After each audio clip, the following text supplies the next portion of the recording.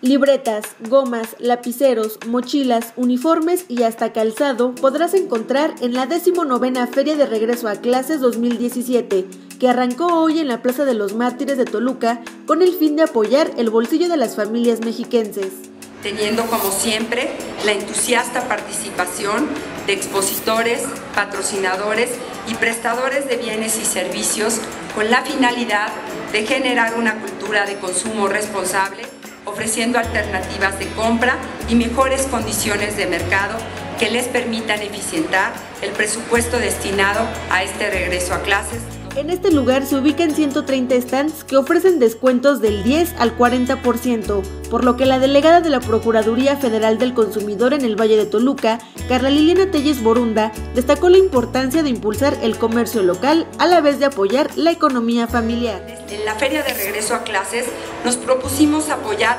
esta magnífica iniciativa, ofreciendo en su mayoría productos hechos en México a nuestros consumidores,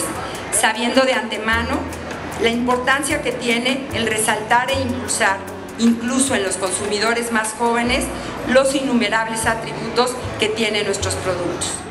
Durante este evento también estuvieron presentes Rafael Ochoa Morales, titular de la Procuraduría Federal del Consumidor a nivel nacional, así como Laura Teresa Hernández González, subsecretaria de Desarrollo Económico, quien también resaltó la participación de 10.000 comercios formales dedicados a la venta de artículos escolares, quienes colaboran con el gobierno mexiquense para el canje de útiles escolares.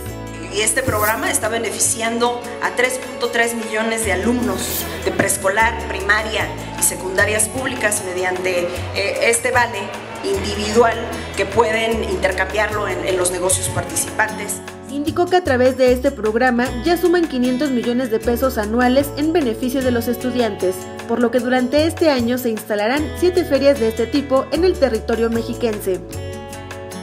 Con imágenes de Aaron Rodríguez, informó para Nuestro Mundo Karina López.